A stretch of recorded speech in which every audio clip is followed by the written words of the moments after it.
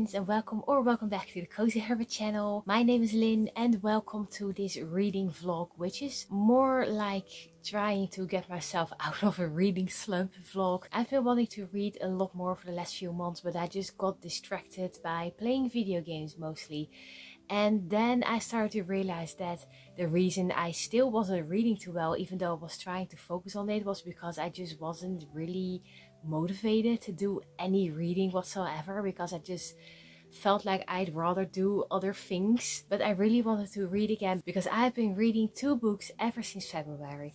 One of them was this one. This is Traces of Two Pasts, which is a novel from Final Fantasy VII from the video game. Um, I read it last year as well, but because the newest game, Rebirth, was coming out earlier this year, I had this idea to read it again. And I still really, really enjoyed it. It's a very good book. It is basically the background stories of the two girls who play the main characters in Final Fantasy, Tifa and Aerith, and it's very, very well written.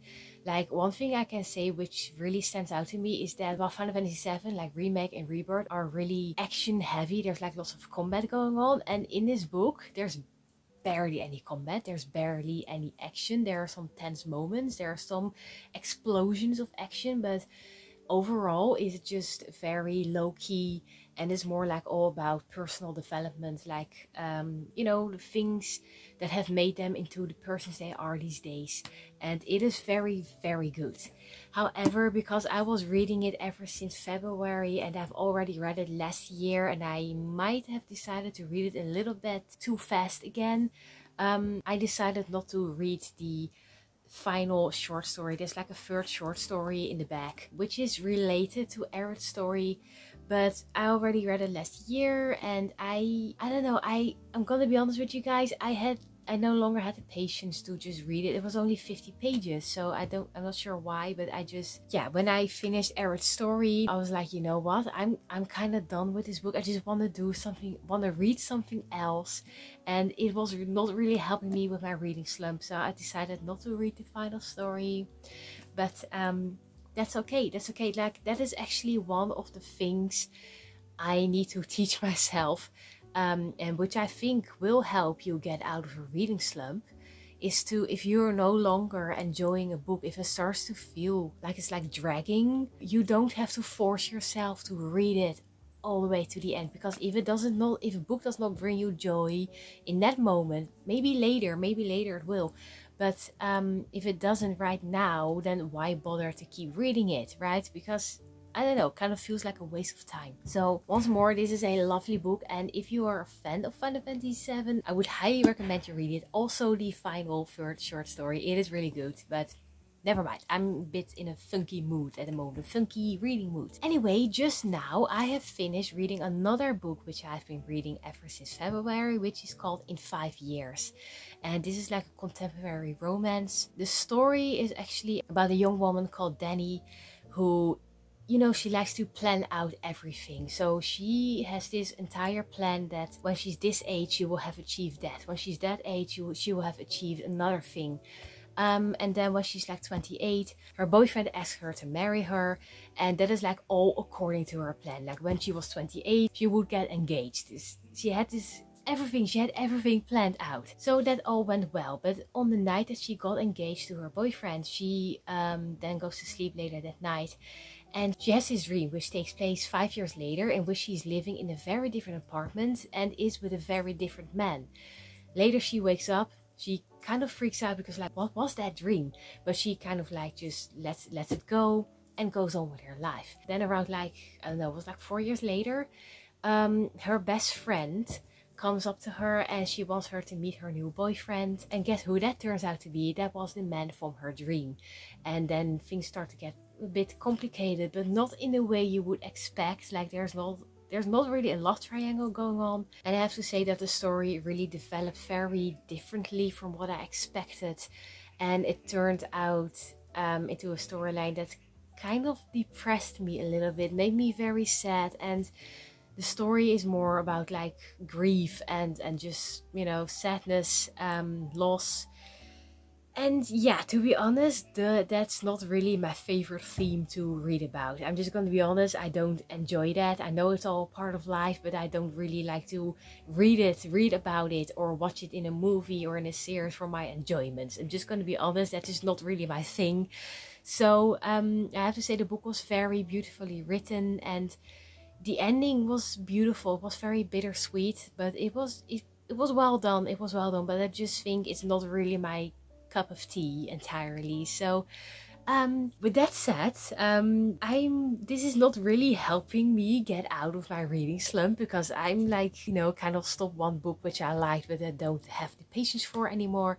And I have finished another book which just didn't make me very happy and actually made me feel a little bit down and kind of depressed. So yeah, right now my joy in reading isn't entirely back yet. I'm gonna be honest, it's not going too well. Um, but I have chosen my next read, which is this one, Sweet Bean Paste. Um, actually got this as a gift from my parents not so long ago and I'm really really excited about this book. Um, and I hope that it's a little bit more light-hearted maybe and just I know more more my thing, more my cup of tea. But we will see. I will start reading it in this vlog and then I will tell you more about the plot, what it is about and my first thoughts and all that. And um, yeah, I hope that you will still be around for that. Um, just wanted to say, um, if you are going for a reading slump as well, or if you have gone for a reading slump, if you've got any tips, leave them down below because right now I'm a little bit, mm, I hope it will change later in this video, but we'll see, we'll see. Because I really love reading, but sometimes, occasionally, I can just kind of lose my love for, for reading. And I don't know why exactly. I think it's kind of because you've been reading the same book for too long or because you're reading books that don't really speak to you that much in that moment. Yeah, anyway, just let me know in the comments down below. And if you've got any recommendations, like maybe some more cheerful, light-hearted books, let me know. Uh, right now, I really need them. I'll start reading this one soon and I'll keep you guys posted.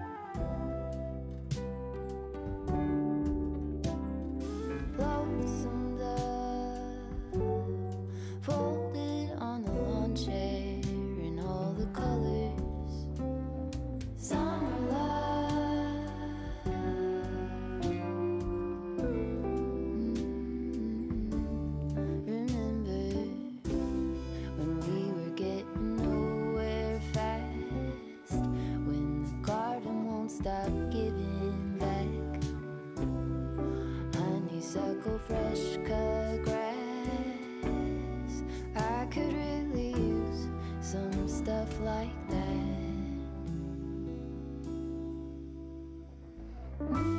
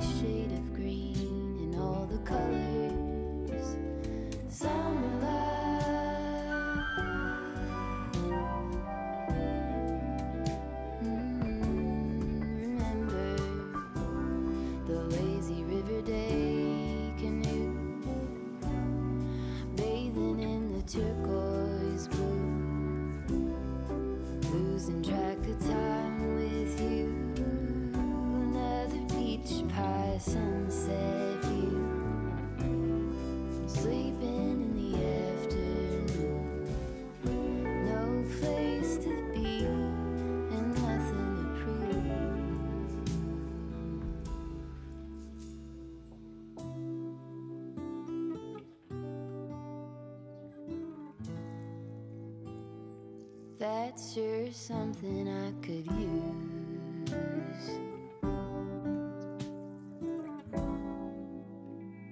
A cure for the air conditioning blues.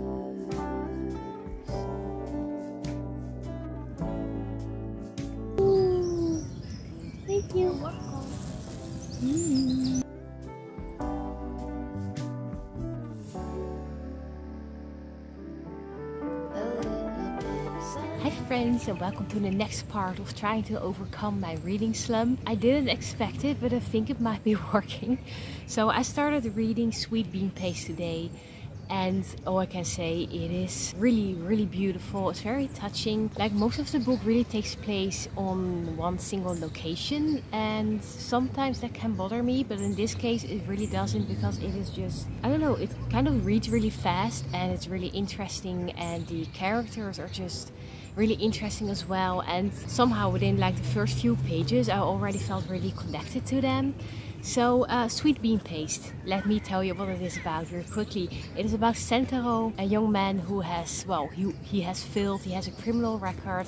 He's been in prison for a couple of years. And then he started working in a shop where he started selling dorayaki, which is like a type of pancake filled with sweet bean paste. So that's why the book is called that way. And uh, one day he's actually looking for someone to come work for him and kind of like take off the workload a bit. But one day an old woman with disfigured hands and like marks on her face comes in and asks him if she could work there. And he's like, well, I can't hire an old woman.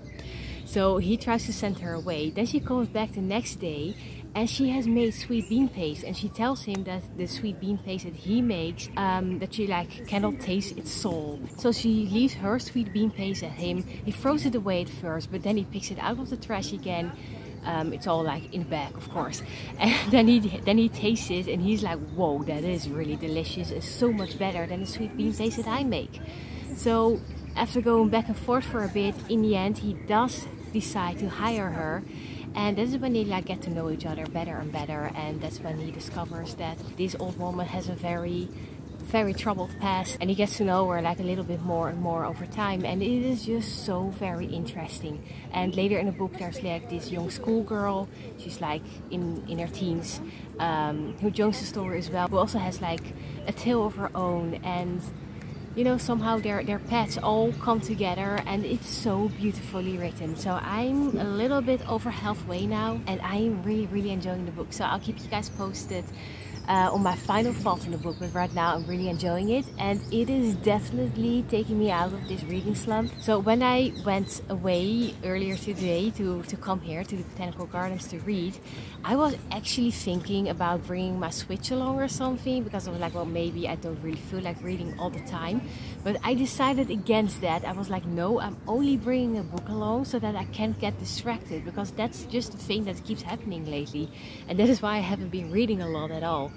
Um, so yeah, that was a good idea. So I think this would be a nice tip that if you are in a reading slump, um, I think it's smart to just find a place outdoors to read and that you don't bring anything else along except for a book. And uh, you know and even if it, if the weather isn't as nice as it is now you can still you know go to your favorite cafe or something and just order yourself a nice cup of tea some cake and just read there without any distractions from from games or whatever else you want to do so yeah, I'm having a really, really great time and I'm so happy that I'm finding back my love for reading again because it was kind of gone. I kind of lost it over the last couple of months. So yeah, it was really nice. Anyway, I'm going to read a little bit more before I go home and I'll catch you guys in a bit.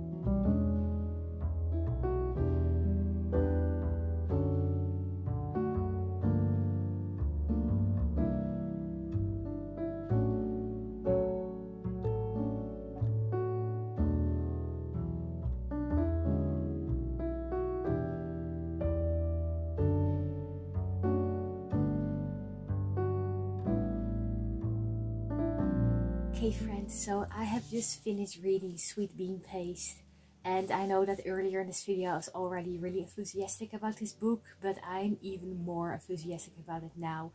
This is definitely one of those books that just gets better and better the more you read and um, I just read the final 20 pages and let me tell you those final 20 pages are absolutely amazing. Even those final pages are just an absolute masterpiece um, this book is so deep. Um, it is heartfelt. It is beautiful. It is sad in a way it's actually actually it's very sad but in a way that it's written in a way that it doesn't make you feel depressed. Uh, it doesn't make you feel bad because yeah what can i say? Especially during those final 20 pages um, the main characters actually talk about the meaning of life and the way it is like the answer this book actually gives you is incredibly beautiful and comes very close to the the way of thinking i've reached myself throughout the years. Um yeah it's really really beautiful. It just I don't want to spoil anything in case you want to read the book, but it's really just that many people think that their um, reason for living is to be yeah, like a useful member of society. Like you, you need to do everything according to what people expect from you. Like only when you've got like an important job, then you are part of society and then you are fulfilling your life's destiny. Um, this book kind of like makes it less complicated and more natural in a way. The role you need to fulfill in life is just you being here, being alive, and just spread spread goodness. But that is all I'm gonna say. It is so beautifully described in these final 20 pages. Yeah, it's wonderful. It's so wonderful. If you want to read a book that just is different from anything you've probably ever read before and you want to read a book with a very deep meaningful and, and hopeful message at the end, definitely read Sweet Bean Paste. It is absolutely amazing and I can only, only highly recommend. So has this book managed to help me to defeat my reading slump? Um, yeah, I actually feel like it has. I feel like picking up another book. Now, I'm still not sure which one actually. I'm thinking uh, there's this book I want to read called Emily Wilde's Encyclopaedia of Faeries, which seems very magical and well, very different from this book. Um, I really want to read that, but right now I'm thinking should I maybe read an ebook first? I'm not sure yet. I'm, I'm a bit undecisive at the moment, but yeah, I'm just glad that this book has definitely helped me like regain my passion for reading again. I feel like reading again. I feel like picking up another book. And that is quite a difference from the last couple of months because I actually didn't really want to read like I said I wanted to, but I didn't really want to. So I think that this reading vlog and this trying to get myself out of a reading slump um, is definitely been successful. So just let me know like were you in a reading slump as well? Did this video maybe help you get out of it? Are you gonna read Sweet Bean Paste 2 someday? So I just want to say thank you so much for being here. Thank you so much for joining me. I hope you enjoyed this little video. If you did, please consider hitting that like button. Maybe even subscribe to the Cozy Hermit channel if you haven't already. And um, well, that's it for me now. So until we meet each other again, as always, stay cozy.